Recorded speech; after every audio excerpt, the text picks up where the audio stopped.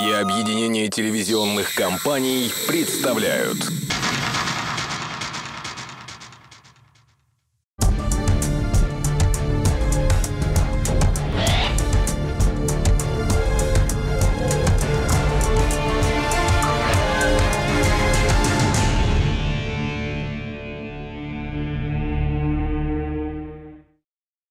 В этот день детектив Насонов навещал своего больного приятеля. Пожалуйста, да подождите вы, пожалуйста.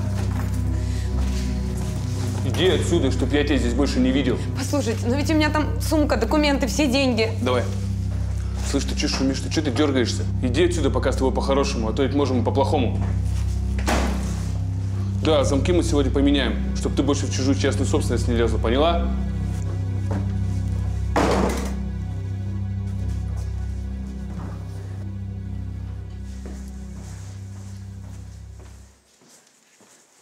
Простите, вы ведь все видели, да? Вы можете мне помочь? Как вас зовут? Меня Алексей зовут, я частный детектив. Пожалуйста, помогите мне, я вас очень прошу. Давайте сначала ваши вещи соберем. Да, конечно.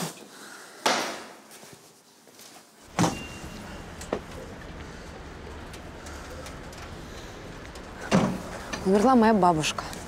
А других родственников у нее нет. Квартира по наследству принадлежит мне. Ну, появились они. Ну, вот эти двое мужчин. Да, они выгнали меня. Сказали, что есть какое-то завещание и что квартира мне не принадлежит. Скажите, пожалуйста, что мне делать? Ребят, подождите, давайте поговорим. Пошел. Вы не волнуйтесь, мы их найдем.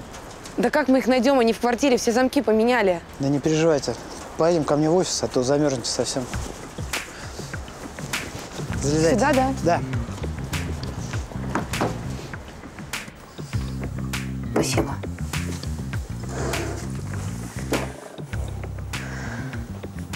Шесть дней назад умерла моя бабушка. Тамара Павловна Демина. Баба Тома. И я приехала ее хранить. Ну, я просто не здесь живу три дня на поезде. И после бабушки осталась однокомнатная квартира. Документы на эту квартиру у вас есть? Документы в квартире. Но у бабушки Томы, кроме меня, никаких родственников не было. И после ее смерти я три дня в этой квартире прожила. А сегодня была у нотариуса, он открыл мне наследственное дело и выдал справку. Справку о собой? Да, с собой. Сейчас я вам покажу. Вот, возьмите, пожалуйста. Ну, а потом появились эти двое мужчин, которых вы видели в подъезде, и выгнали меня. Значит, смотрите, задача номер один для вас – выяснить, было ли завещание. Для этого обойти и обзвонить всех нотариусов. Задача номер два – собрать всю информацию на Демину Тамару Павловну, 40 года рождения. И задача номер три – выяснить, был ли договор пожизненного содержания. Ну, договор ренты, понятно? Сделаем. А нам понадобится участковый. Сейчас я найду его телефон, и мы с вами поедем. А можно я вас сумку оставлю, чтобы с собой не таскать? Конечно, оставляйте, Данила вам потом подвезет. Спасибо. Скажите, пожалуйста, а что такое договор пожизненной ренты? Ну, понимаете, если бы кто-то договорился с вашей бабушкой, да, он бы за ней ухаживал, выплачивал бы ей ежемесячно какую-то сумму, а после смерти получил бы ее квартиру в собственность, понимаете? Вот бабушка вам ничего такого не рассказывала? Нет. Баба Том вообще вредная была. Ей ведь тяжело было одной с диабетом. Я к ней переехать не могла. У меня муж, двое детей. И вообще, как мы можем ютиться в этой маленькой квартирке? А она к нам переезжать категорически отказывалась.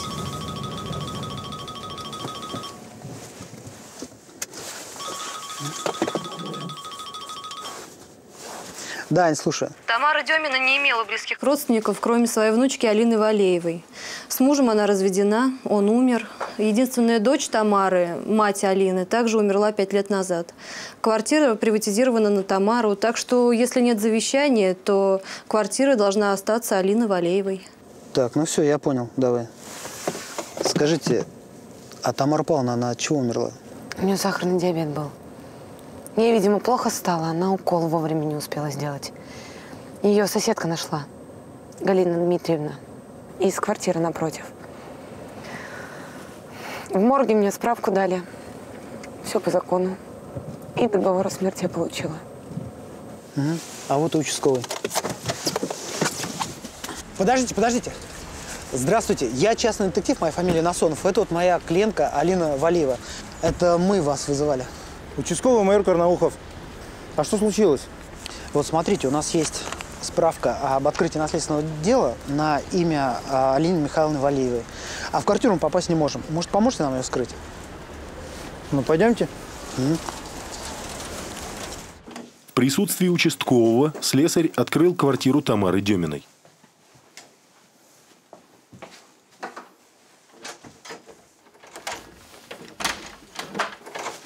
Вы сказали, что эти два мужчины открывали дверь своими ключами.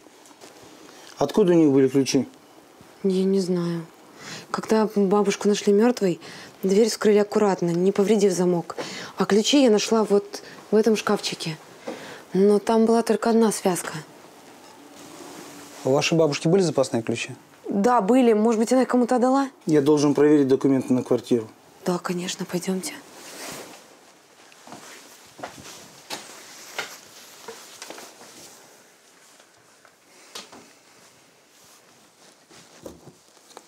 Баба Тома здесь всегда ценные вещи хранила. Договор на квартиру, э, договор о приватизации и свидетельство о смерти.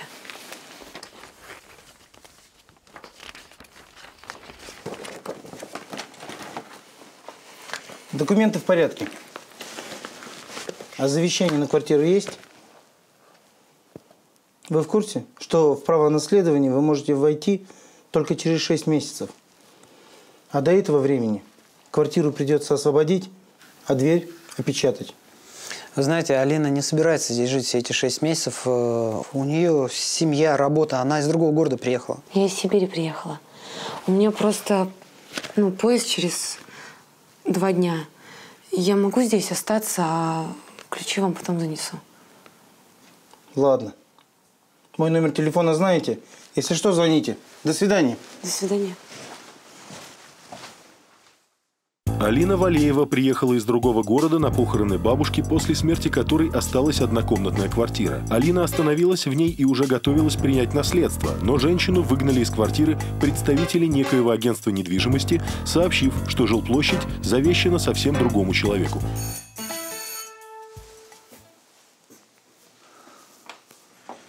Здравствуйте. Здравствуйте. А, Я частный детектив, моя фамилия Насонов. Я хотел бы с вами поговорить по поводу вашей соседки Тамары Павловны. А, это Алина вас наняла из-за наследства. Ну, в общем, да. Ну что ж мы через порог-то? Заходите.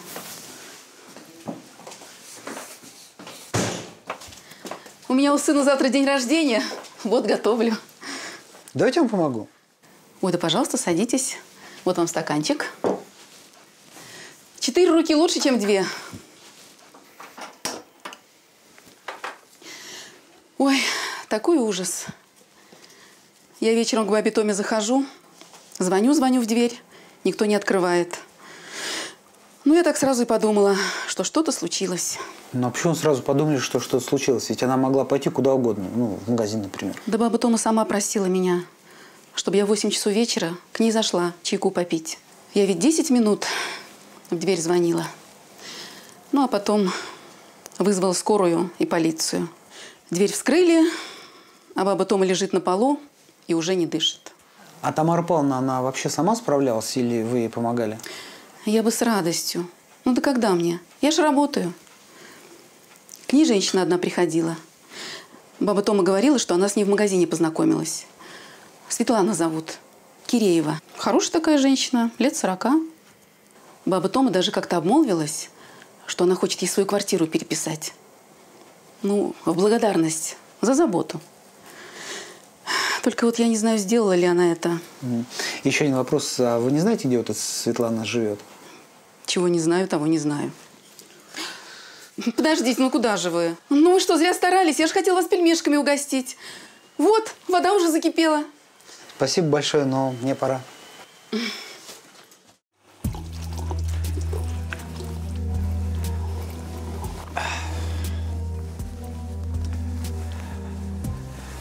Да, я помню эту старушку. Сделал бы инъекцию вовремя, могла бы жить. То есть абсолютно точно она умерла своей смертью? Точнее не бывает. Вот Демина Тамара Павловна скончалась 17 около 7 вечера. Следствие инсулиновой комы на фоне сахарного диабета. У вас все? А то меня покойники ждут. Да, все, извините, спасибо. Преступное сообщество заботливых родителей и инвалидов на минувшей неделе выслушало приговоры к радости других инвалидов, пенсионеров и заботливых родителей, числящихся в деле как потерпевшие. Большинство... Вот она. Светлана Киреева, 41 год. Проживала по адресу улица Светлая, дом 34, квартира 114. Проживала, она переехала куда-то? Ну, можно и так сказать. Она умерла 18 числа. М, 41 год. От чего она умерла? Сердце. Муж Дмитрий Киреев работает курьером интернет-магазина. Офис находится по адресу улица Широкая, дом 11. Алло, Алексей Викторович, есть информация.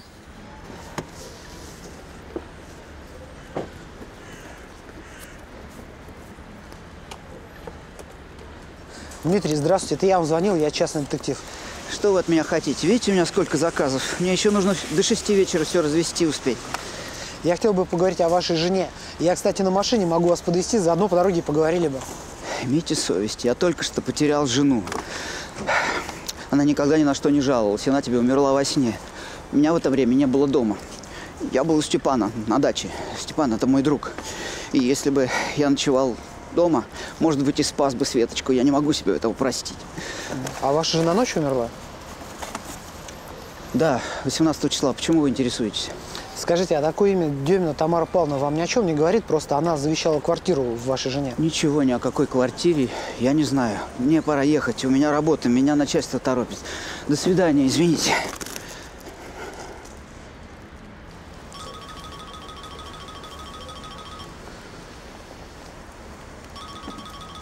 Да, Алина. Алло, Алексей Викторович, вы меня слышите? Я выходила из квартиры, чтобы вынести мусор. А эти двое меня подкараулили. Да. Они сейчас в квартире. Через 10 минут я буду. Хорошо, я жду.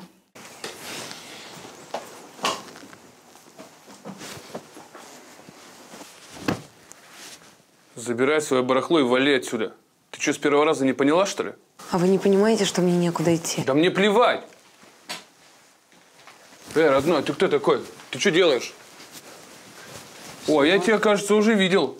Ты что, полюбовник ее, что ли? Я снимаю все происходящее. Я-то на самом деле частный детектив. Вот. А вот кто вы такие? Вот это вот вопрос. Так вы нас-то тоже поймите, мы люди маленькие. Нас послали, мы пришли. Послали вас. Кто же вас послал? Начальство послало агентство недвижимости. Нам сказали, нужно освободить квартиру, которую незаконно заняли. Хотя по завещанию она принадлежит другому человеку. До истечения шести месяцев ни вы, ни ваше агентство здесь появляться не может. Кстати, что за агентство? Какой адрес? Агентство недвижимости «Фиалка». Э, Улица Красина, дом 44, второй подъезд, можете проверить. Да я это обязательно проверю. А сейчас, ну, поверьте, вам лучше уйти. Пожалуйста. Да ладно, мы уйдем. Просто мы завтра с завещанием придем, и никакой участковый вам не поможет. Олега, пойдем. Всего доброго. Счастливо.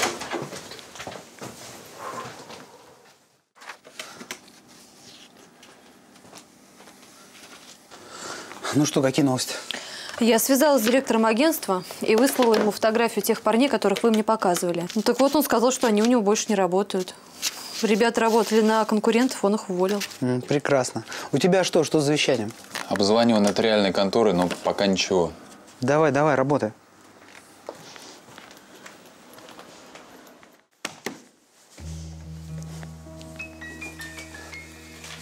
О, здрасте. Степан Семенов, если я не ошибаюсь. Ну, ну да. А вы по какому вопросу? Покупка, продажа, расселение? Я по поводу выселения. А, ведь это у вас находятся документы на квартиру по адресу улица Зеленая, дом 35, квартира 15. Из этого адреса ваши люди вчера пытались женщину выгнать. Я ни про какую квартиру на улице Зеленая ничего не знаю. И никого туда не посылал. Вы меня, наверное, с кем-то перепутали. А вообще кто? Из полиции, что ли, будете? А, я вообще-то частный детектив, фамилия моя Насонов. Освободите помещение, вы мешаете мне работать. Послушайте, может быть, все-таки лучше правду рассказать, а? Мне нечего вам рассказать. До свидания. Всего доброго. Алексей Викторович, я пробила всю информацию по Киреевым и выяснила, что, оказывается, за две недели до смерти Светлана подала на развод. Квартира, в которой они проживали вместе с мужем, принадлежит Светлане, и после ее смерти должна достаться ее дочери от первого брака. Слушай, ну дело принимает все более интересный оборот. И еще, э, Даня нашел нотариуса. Тамара Демина действительно составила завещание, согласно которому квартира после ее смерти должна остаться Светлане Киреевой. Так, спасибо тебе большое, это очень ценная информация. Скажи Даниле, пусть едет ко мне.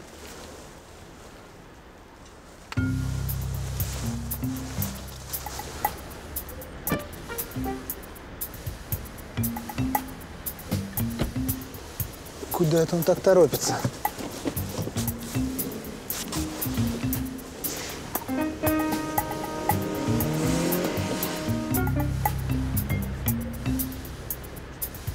Детектив вызвал помощника к дому Дмитрия Киреева.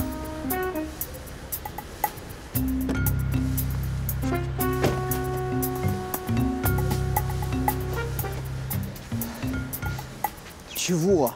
Чего? Чего ты мне орал в трубку? Какие проблемы? Какие детективы? Я забежал домой пообедать, мне еще половину заказов развести надо. Эта девка, которую ты просил пугнуть, она обратилась к детективам. Ко мне только что приходили. Ну и что? Да детективы, не полиция, что ты переполошился? Вот смотри, я все документы тебе могу показать. Да не нужны мне твои документы. Проблемы одни из-за тебя. Сколько ты хочешь сверху? Да не нужны мне твои бабки. На меня и так уже директор наехал. Двоих моих мужиков уволили. Пришли мне рожу бить. Ты же мне сказал, что она дергаться не будет. А при таких раскладах я умываю руки. Знаешь, Маконь, мы с тобой давние друзья. Но со Да всем этим подожди. дерьмом разбирайся сам. Все. Подожди, Степ! Степ, подожди! Да пошел ты!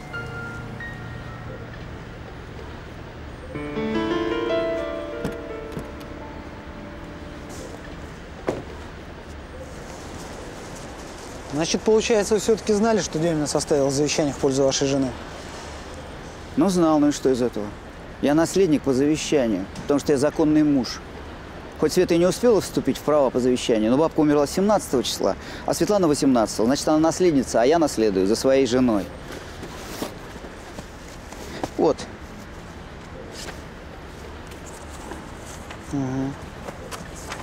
Я уже был у нотариуса и написал все нужные заявления. По завещанию эта квартира должна быть моей через полгода. А что вы так нервничаете? Если у вас все по закону, вам нужно было просто прийти к Алине и показать завещание, а не выгонять ее из квартиры при помощи двух громил. Да не хотел я с ней встречаться.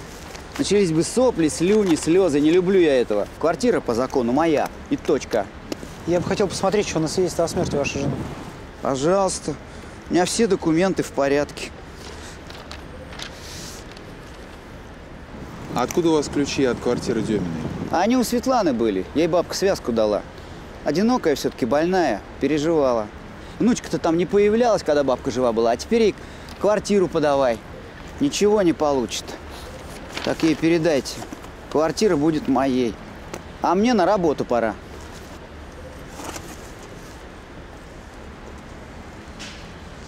Слушай, ну странно эти какие-то две смерти. Кое-что надо проверить.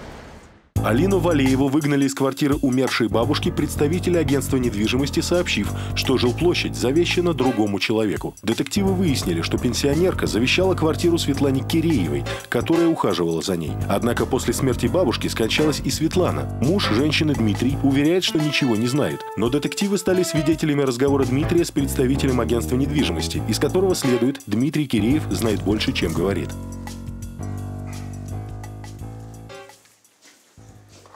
У меня законный перерыв, присоединяйтесь. Да нет, спасибо. А вы знаете, меня еще один труп интересует. Тут очень сложное наследственное дело, и как-то странно все получается. Смотрите, вот сначала умерла бабушка, Демина Тамара Павловна.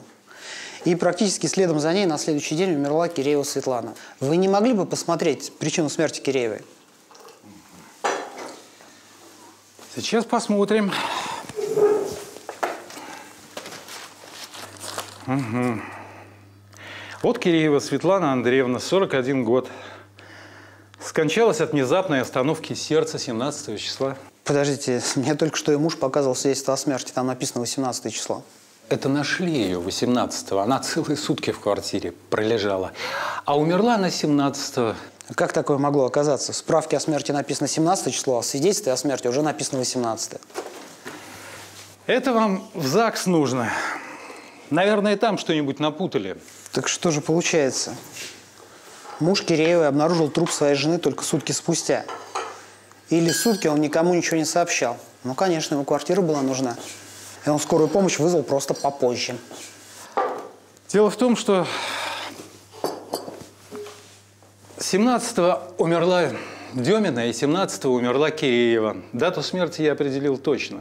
Только Киреева умерла около 7 утра, а Демина около 8 вечера. Но если они умерли в один день, значит, завещание по закону недействительно. Демина умерла от того, что ей не сделали вовремя укол инсулина. А если не дали сделать укол или вкололи какой-то другой препарат, тогда что? Могли вколоть воду для инъекций. Так как след от инъекции укола я обнаружил. Это что ж тогда получается? Убийство. Галина Савельевна, я вот к вам вчера заходил по поводу вашей соседки Тамары Павловны. Ага. Галина Савельевна, а скажите, вот вы когда в квартиру вошли, Демина где лежала? В коридоре у телефона? Все, я понял, спасибо вам. Алло, Ань. Мне нужны срочно все звонки с домашнего телефона Деминой за 17 число. Как только сделаешь, сразу позвони мне.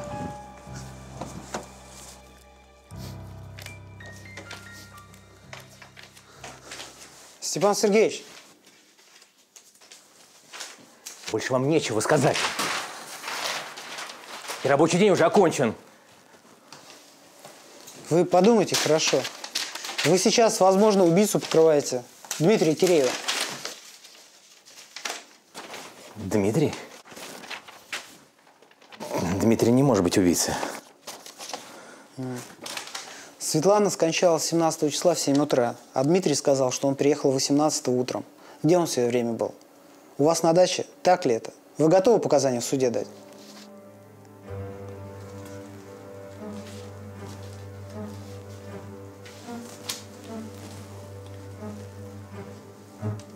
Нет. Он не ночевал у меня.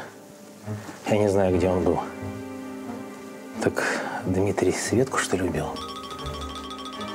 Да. Демина звонила в 18.05. Кому?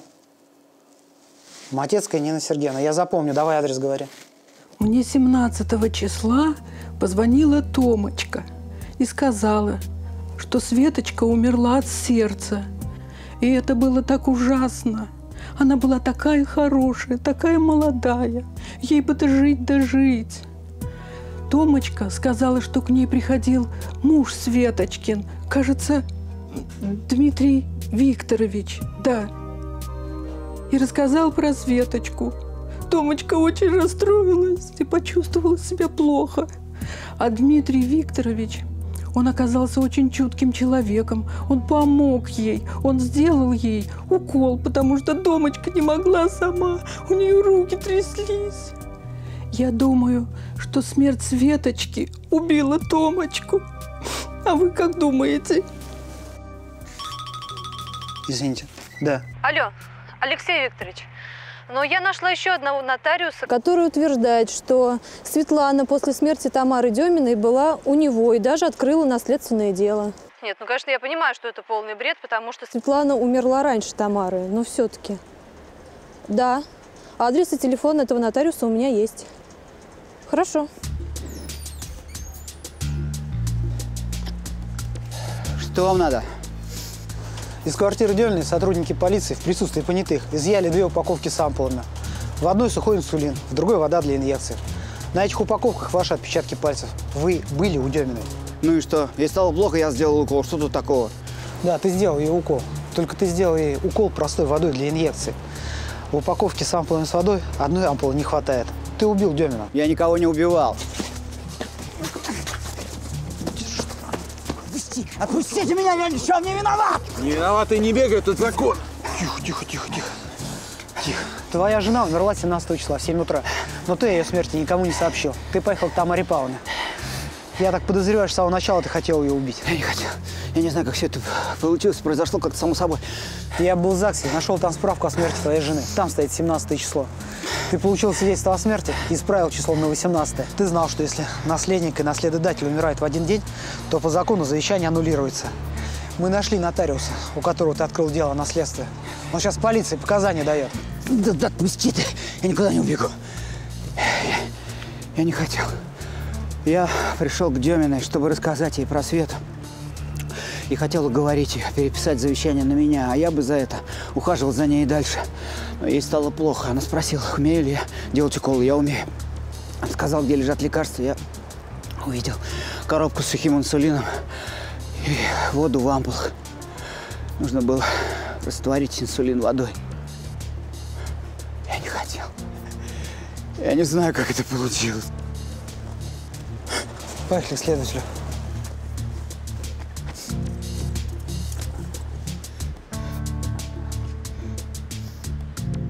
Алина унаследовала квартиру бабы Томы. Дмитрий Киреев получил срок за убийство. Нотариус, который открыл наследственное дело со слов Дмитрия, лишен лицензии. Против него возбуждено уголовное дело.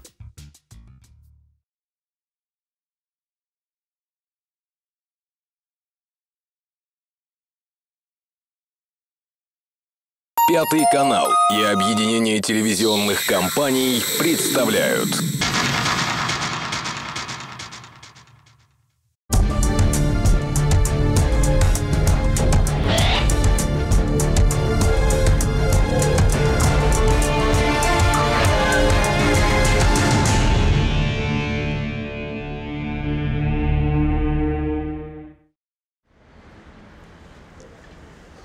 В этот день по дороге на работу детектив Лукин встретил своего давнего знакомого участкового Сергея Иващенко.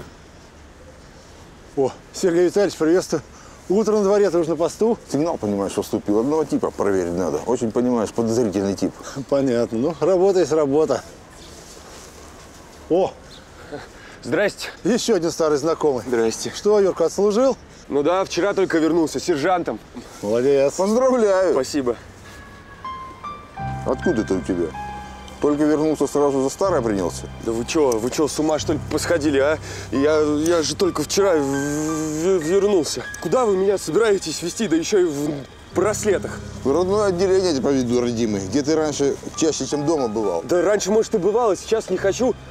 Ну, не за что меня в отделении, ну, сами подумайте. Я только вчера дембельнулся. Ну, Игорь Петрович, ну, скажите же, вы же меня с детства знаете. Я же завязал с прошлым, вы же знаете, завязал, правда. Иди, иди, разберемся. Вот дурак, а.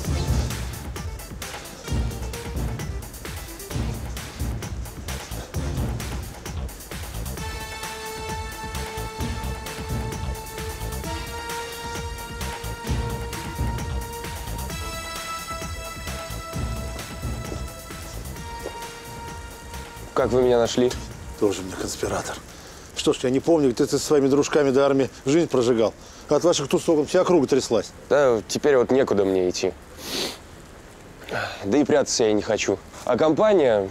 Да от компании только один Денис-то и остался. Кстати, вместе с ним вчера дембели отмечали. Больше никто не пришел. Слушай, что же вы вчера такого натворили, что утром тебя пришли арестовывать, а? Слушай, пойдем в машине поговорим. Что-то сыро здесь, неуютно, грязно. Ну, пойдемте. Да в том-то и дело, что ничего. Нет, я, конечно, плохо помню вчера окончание вечера, но я ничего не крал, честное слово.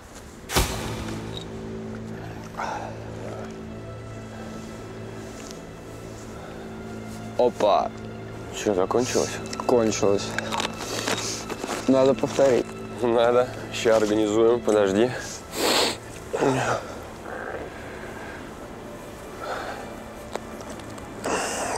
Меня? Чисто по-братски. Ты же из армии. Денег нет. Теперь я угощаю. Сходи ко мне. Квартиру помнишь? Помню. Я сам я не дойду. Не, подожди, а что я попрусь? Я же не знаю, где у тебя там что. Деньги в комоде в зале, половой верхнем ящике. Давай туда и обратно. Давай, давай, разведка боя. Ну ладно, ты только, братан.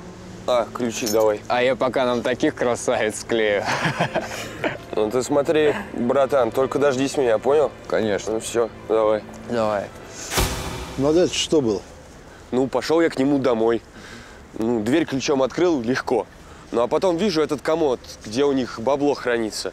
Ну, открыл его, а там, мать честная, цацик золотых, ну, немерено просто. Какие-то колечки, э, цепочки, кулоны. А в самом углу икона старинная лежит. Ну, наверное, каких-то бешеных бабок стоит. Да не крал я ее, ну, не трогал. Говорю же, завязал. Юра, откуда у тебя вот это? Да сам не знаю, как так получилось. Вчера, если честно, не помню окончания вечера, то, что после бара было. Ну, набрался я, ну, понимаете? Вот. Да вы можете у Дениса спросить, он подтвердит. Юра. Юр. Рода, подъем! Фу ты, черт, я же второй день на гражданке. Тогда теряешь время. Я к своей гражданке побежал. Ничего так вчера твой дембель, да, отметили? Ой, да, не говори. Ну все, бывай. Давай, давай, я все успею. Ой.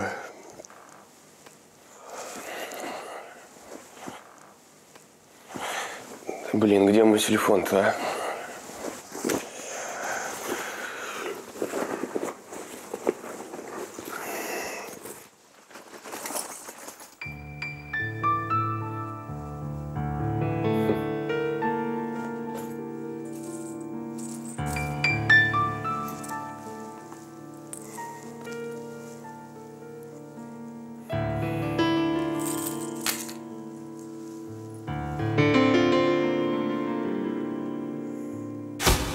Что, давай-ка я отвезу в полицию. Во-первых, в кандалах ты далеко не убежишь, а во-вторых, объявят в розыск, только хуже будет. Садись.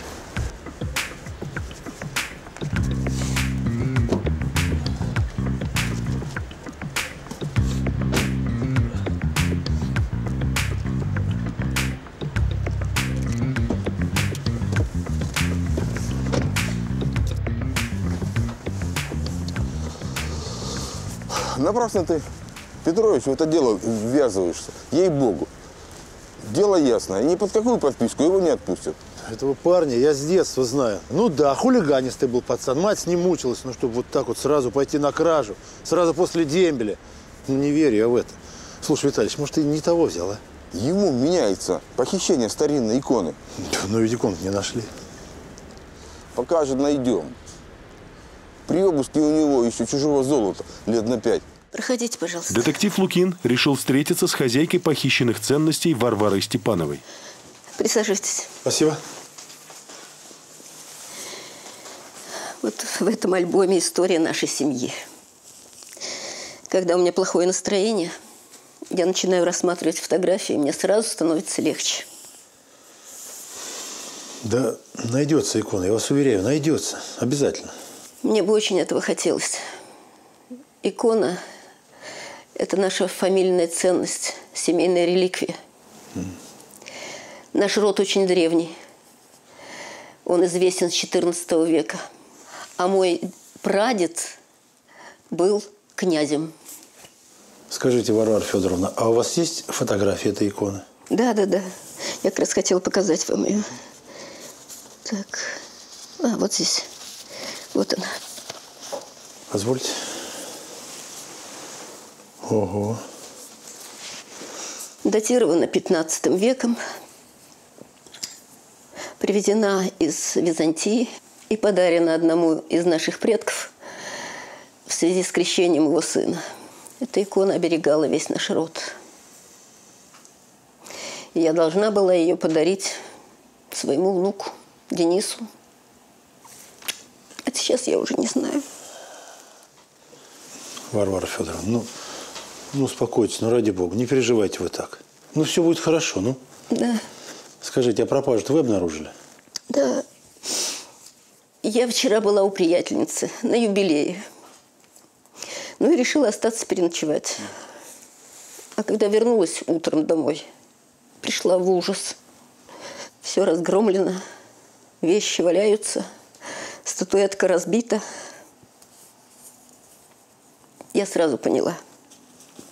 Это ограбление.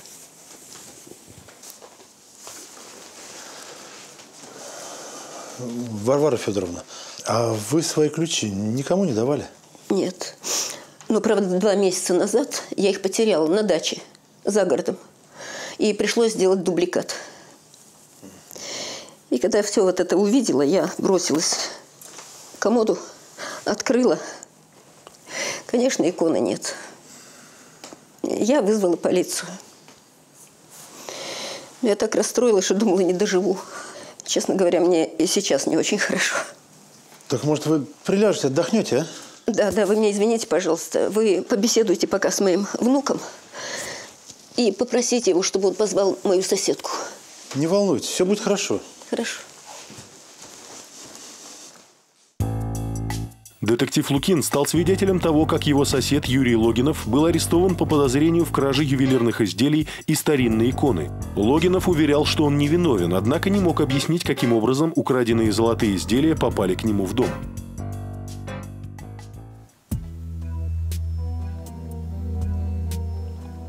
Вы поосторожнее, пожалуйста. Это любимые бабулины вещи. Интересно. Переживаете за антиквариат? Странно. А дали постороннему человеку ключи от своей квартиры, чтобы он деньги принес? Да я не постороннему дал, а бывшему однокласснику. Мы выросли вместе. Он меня позвал свой дембель отмечать, а денег ему не хватило. Тоже красавец. Ну почему же вы сами не пошли за деньгами? Да напился я. Встать не мог. Я вообще мало пью, а тут с Юрой Былоев вспомнили. Да и понамешали всего. Денис, после того, как вы с Юрой пили во дворе, вы куда пошли?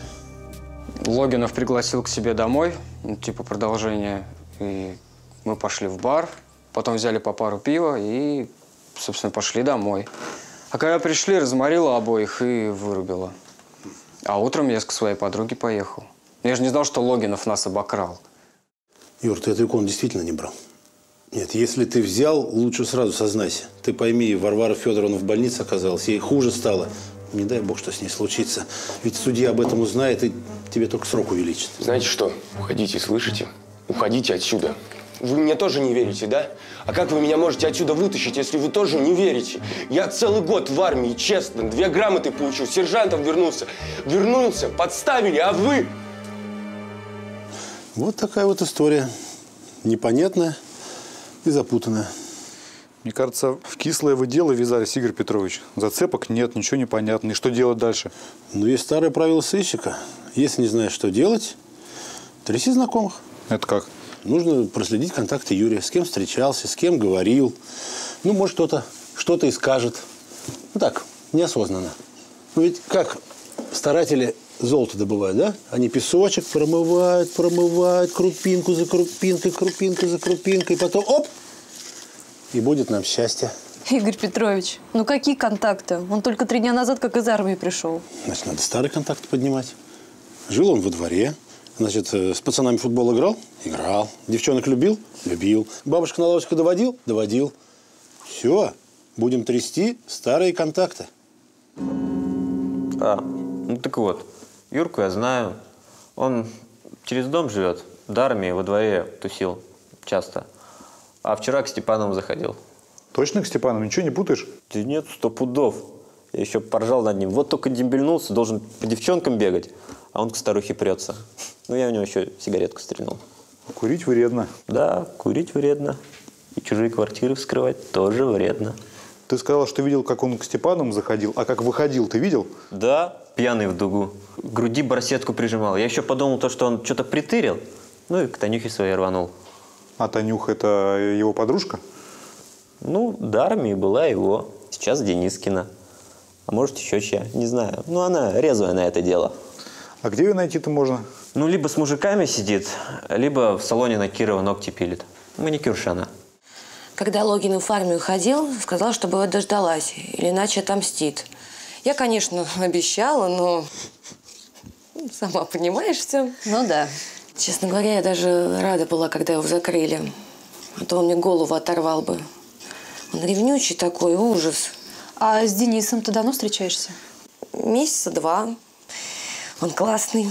А ты с ним виделась вчера? Да, в часов 10 он мне позвонил, и через полчаса мы встретились. Гуляли, ну, странный был. Почему странный?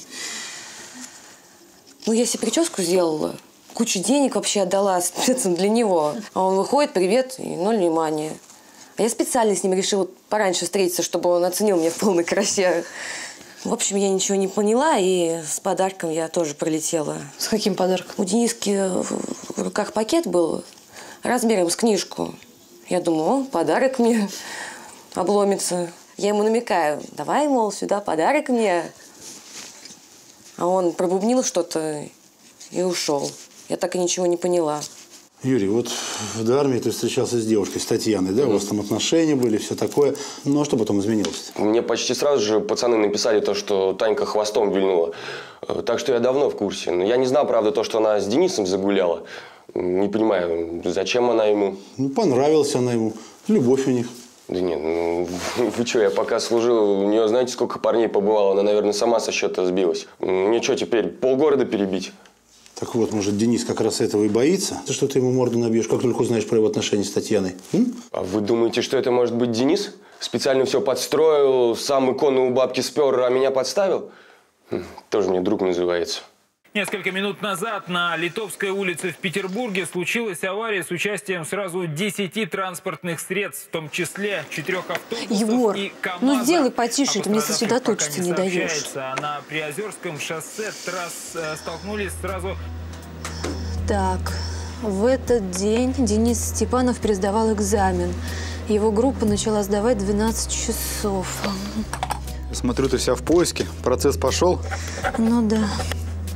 Слушай, Егор, а если, допустим, в нашем городе надо сбыть с рук краденую икону? Вот куда ее понесут? Не в музей же? Да. Ну смотри, есть три варианта. Первый а, барыга по кличке Кошель. Но он скупает дешевку, не тот уровень.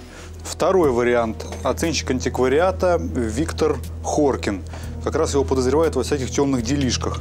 Ну и третий вариант, если вдруг ее взяли под заказ для частного коллекционера, но это практически безнадега. Если что, случайно где-нибудь всплывет. Стой, подожди. Хоркин, Хоркин. О, Сергей Хоркин. Как ты думаешь, там у оценщика он кто? Но если не однофамилец, то, судя по возрасту, внук. Ну вот, отлично. Сейчас я проверю их родство и позвоню Игорю Петровичу. Слушай, Аня, это точно? Внук скупщика краденого Сергей Хоркин учится в одной группе с Денисом? Отлично. Хорошо поработала. Молодец.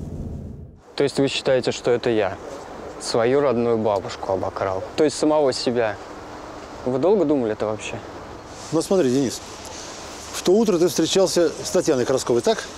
А что за пакет был у тебя в руках? Учебник по сопромату.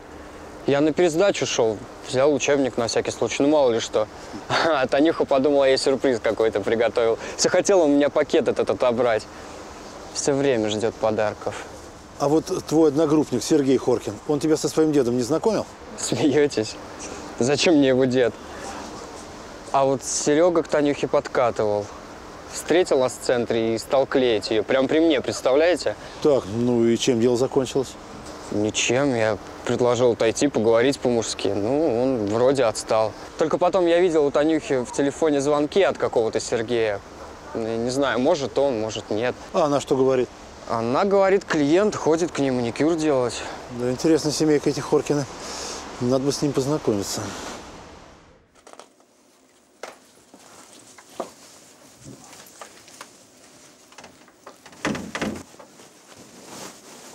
Опа. Ну как я вам? Солнце-то зашло. Ты что, замуж собралась? Кто счастливчик? Ой, один ювелир-оценщик, ну, возможно, не чистый на руку, но нам, невестам, что за беда. Главное, чтобы знал, на кого свои денежки тратить. Но если серьезно, будь там повнимательнее. Никакой самодеятельности, только по инструкции. За этим делом могут такие бабки стоять. Тебе серьги вместе с ушами поотрывают.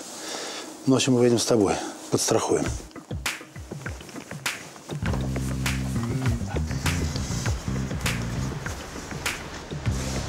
Ань, запомни, если вдруг что-то пойдет не так, ты прям мобилу свой бери и в окно кидай, я через 20 секунд подлечу. Да ладно, что ты так нервничаешь. Ну, ты наш луч света в этом темном царстве. Мы тебя беречь должны. С Богом. Ну, я пошла. А ты как, ну, проконтролируешь? Юрий Логинов был обвинен в краже старинной иконы. Расследуя обстоятельства этого преступления, детектив Лукин пришел к выводу, что Логинова мог подставить его приятель, внук потерпевший Денис Степанов. Однако это не подтвердилось. Следствие продолжается.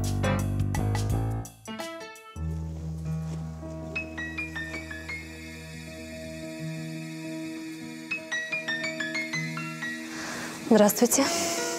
Добрый день. Чем могу быть вам полезен?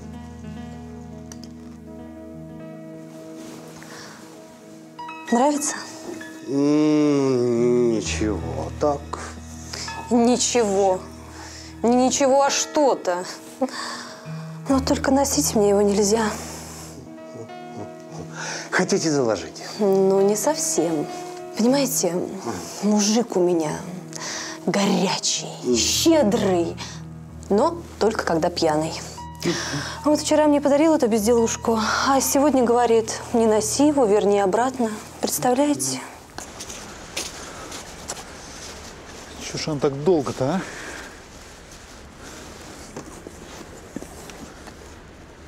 А я вот что думаю. А скажу-ка я ему, что я его потеряла. Ну а что? Мы же вчера все равно с ним из ресторана никакие выходили. А смеяться просто какой? Никакого, правильно?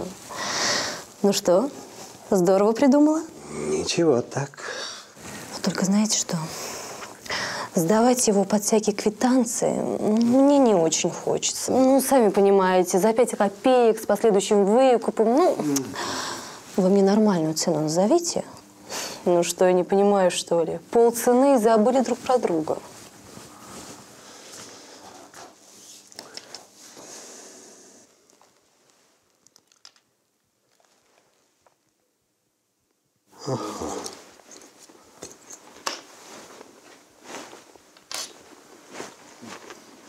Пятьдесят тысяч. Грабеж. Ну, как хотите. Тогда возвращайте это колечко вашему мужику. Ну ладно, хорошо. 70 и по рукам.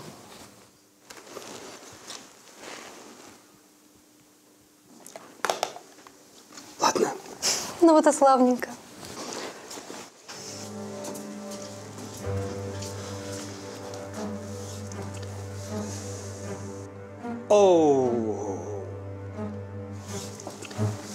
Вы хоть понимаете, сколько статей Уголовного кодекса собирались нарушить? Ну, мы вам все это простим, если вы нам поможете в одном деле. я готов к сотрудничеству. Важно было, чтобы Татьяна согласилась поехать в офис детективов и ничего не заподозрила. Хоркина детектив Лукин туда уже доставил. Привет. Привет. Ничего не поняла из вашего звонка. А чем я Юрику-то могу помочь? У тебя причесон классный. Спасибо. Ну, что вам надо? А нам нужно, чтобы ты с нами проехала в офис, Игорь Петрович тебе все объяснит. Прошу. А чаем у вас угощают? Само собой.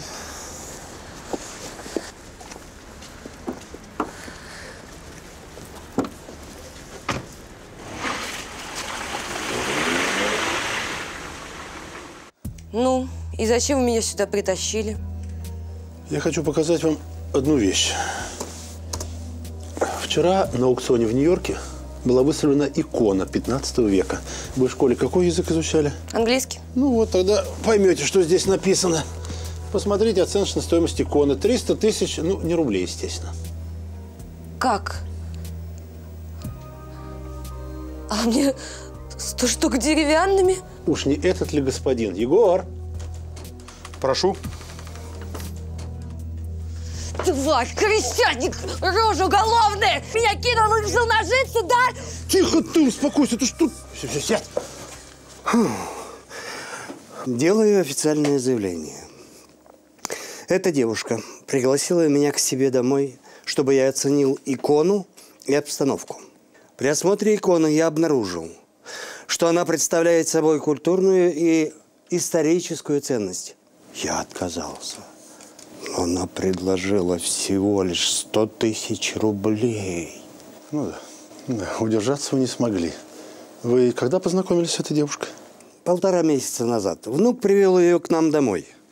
Вот тогда-то она и узнала, что я являюсь профессиональным оценщиком. Я не знал, что эта икона ей не принадлежит. А Татьяна Краскова когда вам принесла икону?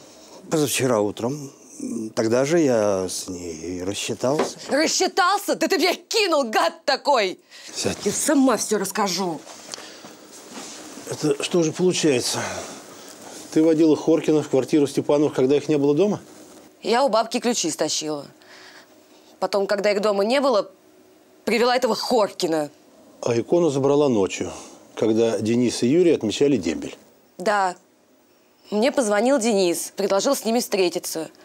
Сказал, что Юра пошел к нему на квартиру за деньгами, а бабка уехала куда-то. Ну и дальше что? Ну, сначала я и иконы и золото взяла, потом пошла к Юрику и подложила ему часть золота в барсетку. Слушай, ты же встречалась и с Юрием, и с Денисом. Одного ты подставила, другого обокрала. А нефиг такой, как я, подкатывать, раз бабла нет. Я хочу красиво жить, понимаете? Они и знают, как только свои книжки читать, да и на работе корячиться задолбали, лохи недоделанные. Да, девочка, какая же ты глупенькая. Мне тебя даже жаль. Ну, я так все хорошо придумала, но где, где же я прокололась? Спасибо вам большое.